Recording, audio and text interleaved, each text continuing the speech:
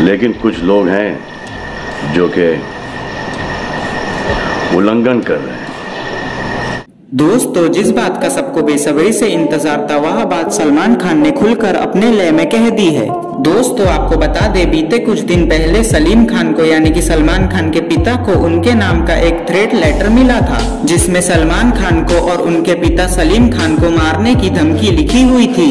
और उस लेटर में साइड में लिखा हुआ था एल बी मतलब लॉरेंस बिश्नोई और जी बी मतलब गोल्डी बरार इस पर सलमान खान ने अपनी प्रतिक्रिया दी है, और कहा है, जिसको मारना है, मेरे को वो सामने आकर मारे। और अगर किसी ने मेरे परिवार के ऊपर आँख उठा के भी देखा तो उसकी खैर नहीं है। सलमान खान ने कहा, चोरी छुपे लेटर भेजना और घर की पहरादारी करना, ये सब ठीक नहीं है। और अगर किसी ने मेरे परिवार के ऊपर आँख उठा के भी देखा तो उसकी खैर नहीं होगी। और सबको पता है कि मैं कहाँ हूँ। मैं इस समय हैदराबाद में हूँ और अपनी पिक्चर कभी ईद, कभी दिवाली की शूटिंग कर रहा हूँ। मुझसे जिसको मिलना है, वो आकर मुझसे मिल सकता है। जिसको बात करना है, वो बात कर सकता है। और जिसको मुझे मारना है, वो मेरे सामने मुझे आकर मार सकता है। लेकिन ये सब हमसे बर्दाश्त नहीं होगा कि चोरी छुपे थ्रेट लेटर भेजना बदतमीजी करना और साथ ही साथ धमकी देना। उन्होंने लाइन बनाते हुए एक और बात कही। उन्होंने कहा कि मेरे ऊपर तो ठीक है, लेकिन मेरे पिताजी के ऊपर किसी ने भी आँख उठा के देखा तो उसकी खैर नहीं होगी, क्योंकि उनकी एज ज़्यादा है और उनके खिलाफ हम कोई भी शब्द नहीं सुनना चाहते हैं। उनके लिए इस उम्र में टेंशन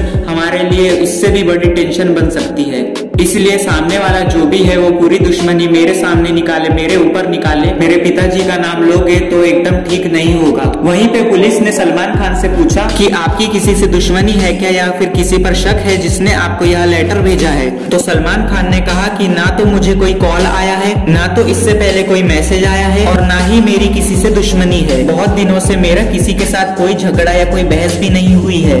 मैं लॉरेंस बिश्नोई को 2018 से जानता हूँ। वो भी हिरन के केस मामले में और गोल्डी बरार को मैं जानता तक नहीं।